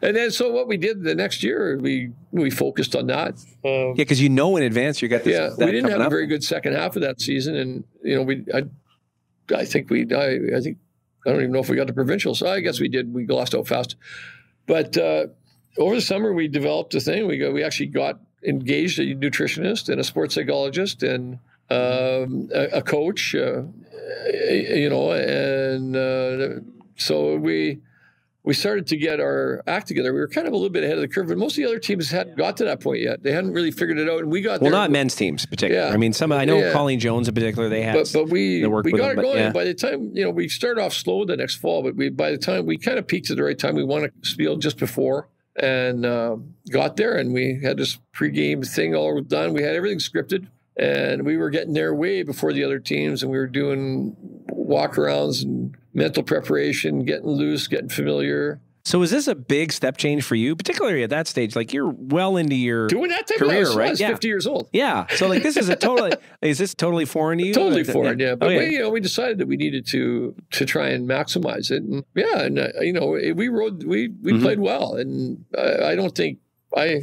You know, there's no apologies there. I mean, we could easily have gone to the Olympics. It was, uh, you know, we had beat Kevin and we had lost to Kerry, and we ended up playing Kerry in the semi, and uh, Kerry beat us again. So there you go. And then Kerry lost to Kevin, but that was probably uh, uh, Yeah, and you you were up. Well, no, you cracked a three and sort of gave up a deuce right back against Kerry. So it was kind of a whirlwind f- first few ends, I guess, right? And then just, Uh, yeah, yeah, I remember the, the game against Kerry was we ended up one down coming home, and, and he had last rock, but we we bedposted him, and he had to he had to draw the forfeit to win, I think, and he did. Good skips do that to you. yeah. But the odd one, the odd time they'll miss. But Well, and it's interesting, right? So you think about those first two uh, trials. You had Ed Werenich loses in the semifinal in '97, and then there you are at your age losing the the semifinal Yeah, in a 01. And it's funny. It's like the CCA is probably thinking, "Thank God we don't have these old guys going in. there. We yeah, need but I- athletes, right?" I had a young team. That's true. They were That's fairly true. out there. I mean, not real young. Maybe they're younger, uh, but yeah, but they were. Yeah. No, but there was definitely a an idea. We want to we want the perception Oh, of the of the athlete oh, to, oh, to go want- and they didn't want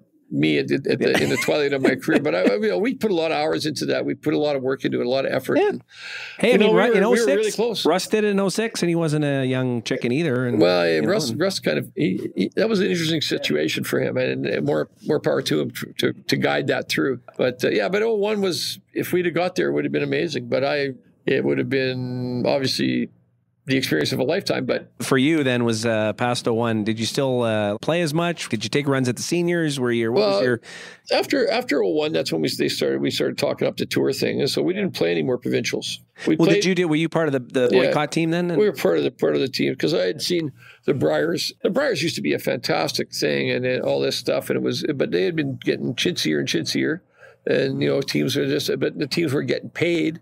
There was no, there was no. The '99 Brier was a little bit disappointing, I think, for Yet- me. yet they're me, pulling in these I- big audiences. seen the other ones, yeah. So Right? it, it's Yeah. really hard to say. There's pros and cons to that, but I think the players needed to have more control. Um, I was, yeah. I mean, we played for a couple of years. Uh, But I mean, that's- uh, during that, why boycott? But for you, yeah, well, no, I get. I mean, it's, I guess it's. It's a, no, but that's a tough thing to ask of you as an example. You're, you, you know, at that stage in your curling life, you're thinking, I, I may not have a lot of Purple Hearts left in me to say, um, Sure, hey, yeah. hey, Bert, why don't you not play for a couple of years, two, three years, Yeah. and don't try for it? I mean, that's a lot to ask, really, don't you Uh, think? I mean, you know, I it, I realized it was probably the, at the end, although I kept trying. But um, yeah, so we took the two years out, and then Bobby moved on, and he ended up playing with Pat, and they went to a Brier, and because Pat's younger than me, so we we'll let him do that. And uh, yeah, and I, I, you know, it was I probably had like two other decent runs in provincials, but as you get a little bit older, I think the last time was 08, we had a decent run, but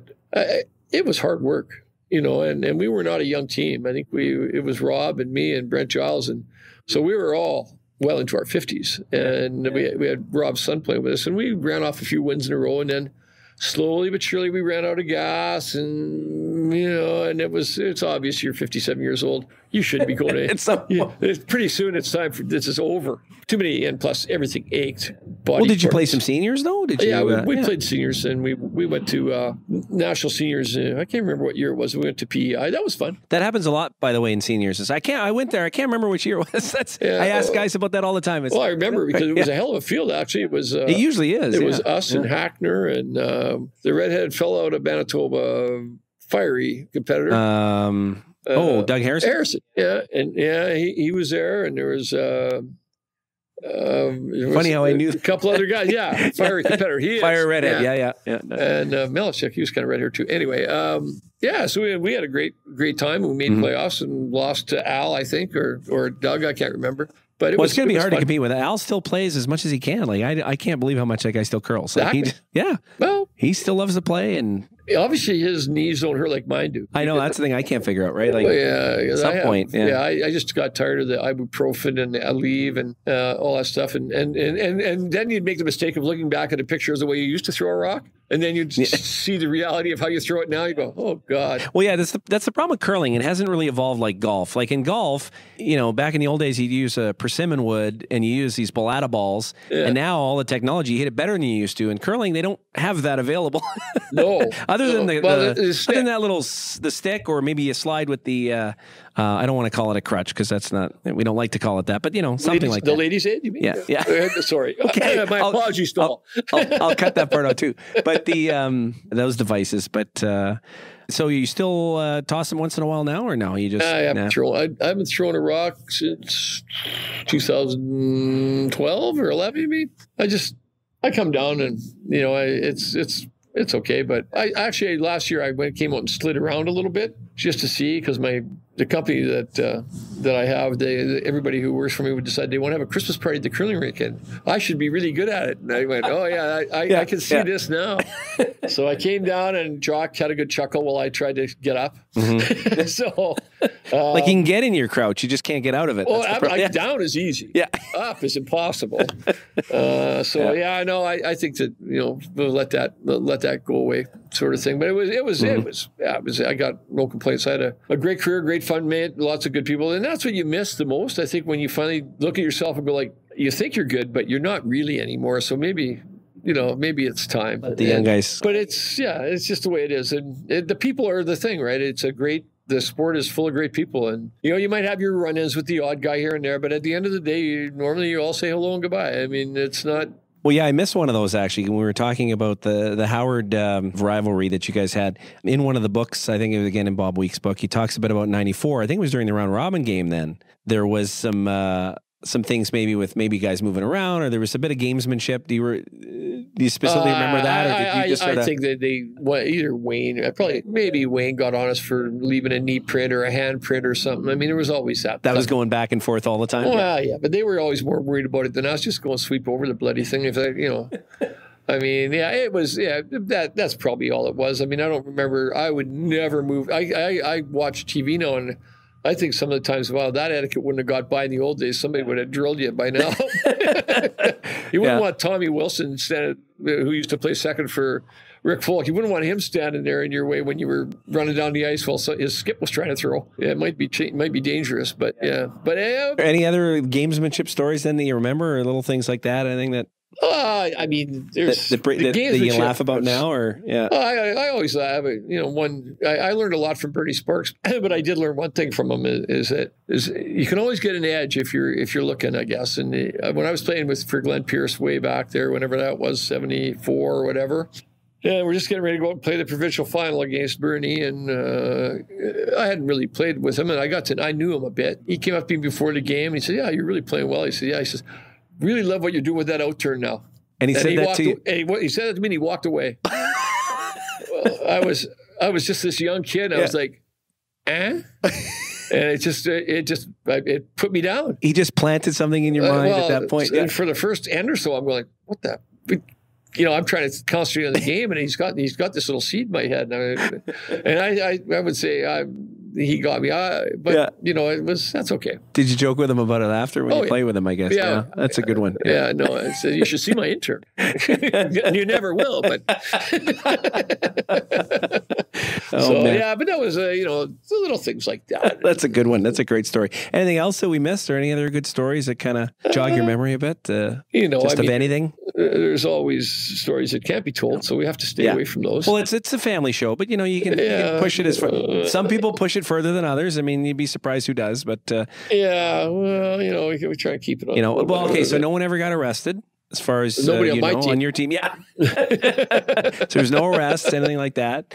You never lost a player? That never. That never. Because that's happened to a few guys from time to time, no, either we- before we- or after. actually, we did kind of lose one for for a few for a part of a game. Yeah, we had we had won a couple bonspiels, and then we went to the third bonspiel, or we won a car spiel, and then we came second in Camels. I think we Mm-hmm. lost to Paul to Gowsell or something, and then we went to Prince George, and this guy's there was Calcutta's then. They were legal. Yeah. Uh, and, and, it was yeah. it was big. I mean, there was a Prince George used to be. well, you'd make more money in Calcutta than in the Bonspiel. You right? could if you were silly enough to bet. And um, this uh, we had, we were on a roll. We were playing good. Prince George was next on the list, and we away we went. And uh, it was a long drive up. Um, some got pulled over by the cops for speeding, and they took all our alcohol away, and there was a couple little things like that. And eventually, we got to Prince George. Okay, so there was no arrest, but there was police. At some Yeah, point. there was, there we there go. was, Okay. yeah, but it was they, That's- they were that's very not kind. They unusual, were very but- kind to us and told us, you know, do not stop at the next liquor store and just keep going. Keep and go, okay. Um, and uh, then we get to Prince George, and then uh, one of the guys on my team who I will, well, I I I, I don't want to name anybody, Check but the innocent. Yeah. yeah, but his his initials were RK, uh, and. Uh, he had some buddies there, and uh, he disappeared. And in the meantime, the Calcutta's on, and uh, we all we were none of us were feeling that great in the morning. But uh, we went for like about five thousand dollars or something. This guy, this fella from up there, and it was a big Calcutta, like forty five grand or something. And uh, we go for the first game, and we we haven't seen Rob, Ro- we haven't heard from Rob. We don't know where Rob. Sorry, you is. were going to name him. Oh, Ah, it's it's too late. okay. he'll be, he'll find this quite funny. And uh, so it's a, it's, there's just three of us, and we're doing okay. We're holding our own, and it's a tie game. And then uh, just after the fourth end, Rob shows up. And he Probably said- didn't know the time. Maybe he messed up the- yeah, the something. schedule Anyway, so, whatever, he, yeah. so he gets all suited up, and out he comes. And meanwhile, the guy who bought us at Calcutta is behind the sheet watching his Oh, no. investment. And uh, we uh, we get her rolling pretty good. And um, Rob gets out there and throws his first one, misses it completely. Uh, he throws his second one, misses it completely. So uh, we're 0 for 2. And uh, Rob comes down to the uh, down to the other end, and uh, he kind of gets me and says, "Just, "Do you think the other guy'd mind if I if I didn't play the rest of the game?" and the other guy, the other skip goes, "Are you kidding? you're in here, you're in here now, buddy." So So Rob earned a little nickname that time. We called him Silent Rob for a while after that. And he wouldn't make much noise at the other end, and the game kind of went that way. Uh, in the meantime, the poor guy who bought us to Calcutta had to watch this act because he uh, he couldn't hit anything. He was yeah, it was it was kind of a, kind of an odd an odd show, but. Uh, all right, good. Well, I'm glad I'm glad I jarred that one. Then that's a great story. Yeah. there was uh, there was another guy who bought us into Calcutta and didn't have the money to pay for it. Yeah, And- that happened. Also in Prince George, a funny place, I guess. Smitty, Elgin Mhm. Smith was his name. A great guy, uh, and uh, he was a. One that was back in the days of the big over 100 team interior bonspiels, and they play down and get down to 16, and they have a Calcutta, and he buys us, and we end up winning, and he gets this money. He came up and kissed me basically after. He says. Thank God. He says, if you hadn't won, I'd be picking up bottles all the way back to Kimberley. and Prince George and Kimberley, long way Yeah. because he had no dough, but uh, Oh yeah.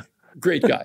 Yeah, so So and you guys never decided by yourselves or anything like that, or ever tried to do that? you or- know, we didn't. We never bought ourselves. And the, uh, Bernie, the one year when we Mm-hmm. were winning lots that year he, in the Evergreen is a Bonspiel in, in Vancouver, Cashspiel, and uh, he bought us. Oh no, he didn't buy us. He bought the guy we not playing in the final. Oh really? So And if if we lose, Bernie makes more money than if we win.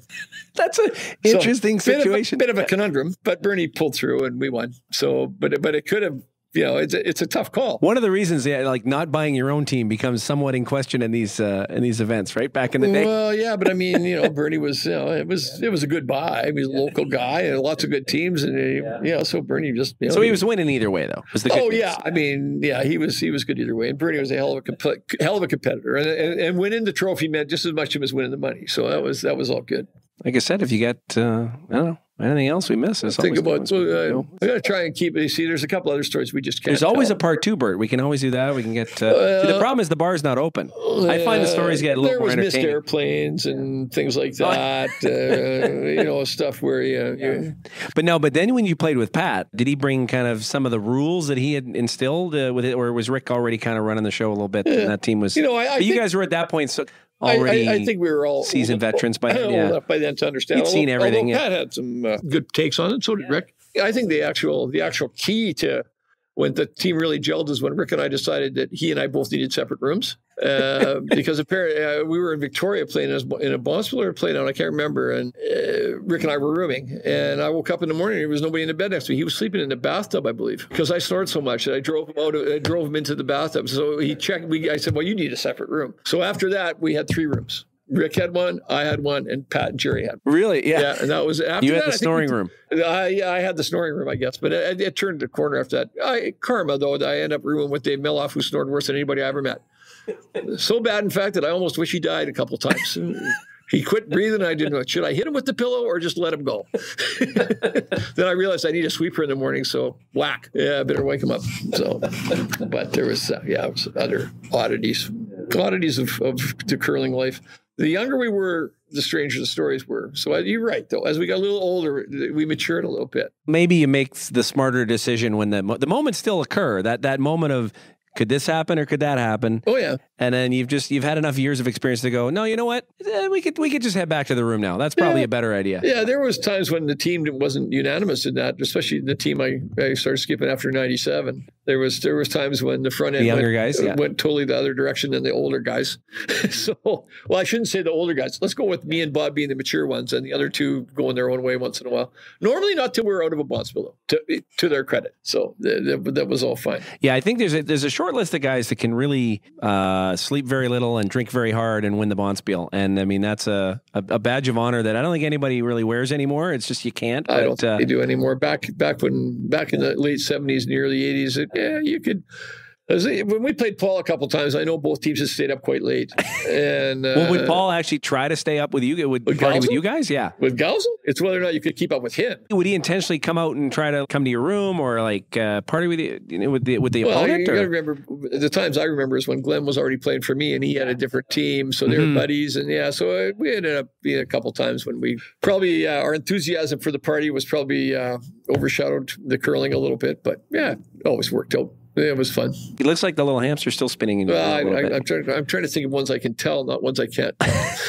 so, well, I mean, okay. Well, what else? There's got to be uh, okay. Ever any uh, fist fights on the ice or anything like that, or anything? Anyone go to blows that you remember either on your game or no? we, we were opponents. pacifists. We were pacifists.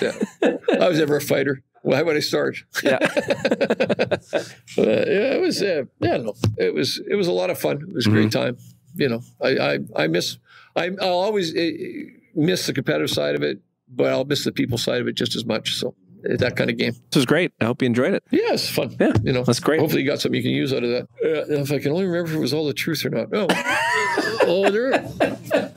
You know, there is one other kind of story because I always edit it later. Once you tell it, we can always edit it. out. Okay, well, I ended up playing Bernie a couple times in other events, and I had quite a reputation. After you played with him, yeah. Yeah, after I played with him, and, and we went out to Calgary one year to play in. Uh, I can't remember what the event was, but Glenn was playing with me and Rob and and Ron, and uh, we had uh, a fairly big reputation for slow play under old rules. So figure that out.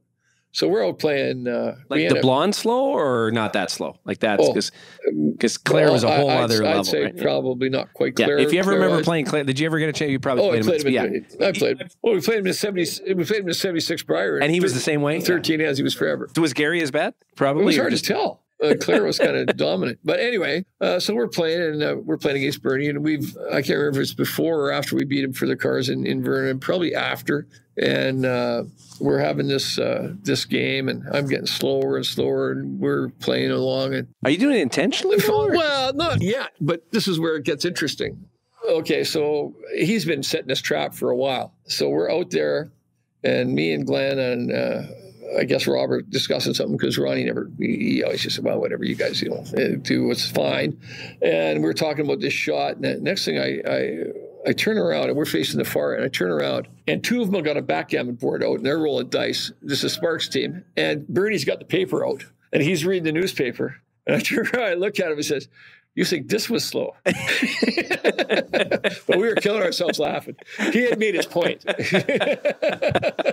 and we, uh, yeah. So you would say I was the forerunner of one of the forerunners of slow play. Uh, yeah, clocks would have been helpful, I guess. but, but I always, I never was a fast player, so I guess kind of hang with that. But that would have been a good picture if a guy could have got that.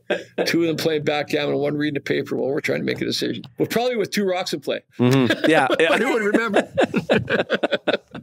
Yeah, that's the last clean one I go. Yeah, the last clean. Oh, come Uh, on. There's, uh, there's there more. was a few. yeah. Yeah. Post spiel parties, best left out. Well, and so playing with Bob, then, what did you? So how about uh, the old man? Then did you? Did Jim sort of? Uh, Jimmy was our coach. hang out. Did he? Oh, Yeah, okay, he was coach our as well? coach in Yeah. 01, yeah. yeah. it was kind of funny there because there was we almost we weren't going very good the first couple of spiels, and there was talk of maybe letting Bobby skip for a while and I'd play third just to sort out what was going on. And then we went on this little team walk, and the front end said, "Not a chance. we're not changing the lineup." oh, okay. Then it kind of once that was all put behind us, that's when we really started to play well that year. You know, well, you sort things out, right? It was, it's good. It was good. But I love Jimmy. What a great guy. What a gentleman. Good, good player. Oh, that's good. Uh, like I said, if you think of more, Bert, I can always I'll put you on a phone call and we'll. I, I mean, I, there's obviously there's more somewhere along the way. always line, more. That's the point of this is to get as many of the good ones I can. There's some, good stuff yeah. in there. I mean, there's uh, obviously uh, there's good Bob the Cop stories, but we can't really tell those either. Bob so. the Cop, who's Bob the Cop? You know, RCMP. How come you can always get your flight changed? well, yeah. So it's uh, interesting stuff, but yeah, I, I can't I can't think of anything uh, anything but good things to say about all the guys I played with over time. So it's it, and even nice. if you couldn't, you wouldn't you wouldn't say it. Well, but no, I, I, really, I really, I can't, I can't say anything. I mean, uh, they some of them might say the odd bad thing about me from the late '70s or whatever, but you know, I was growing then. Yeah. uh, that was great.